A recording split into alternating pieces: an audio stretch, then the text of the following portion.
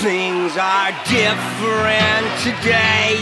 Back in New York, I lived down on Third Street way back in the day. There were junkies, pimps, and whores. Hallelujah.